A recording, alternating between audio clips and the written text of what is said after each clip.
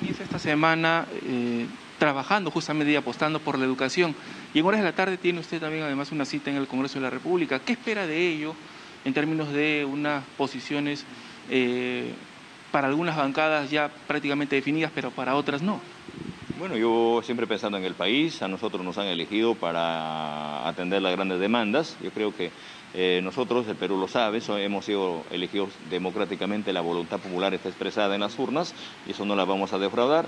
Esperemos de que el día de hoy se, se cierre esta página y seguir trabajando juntos.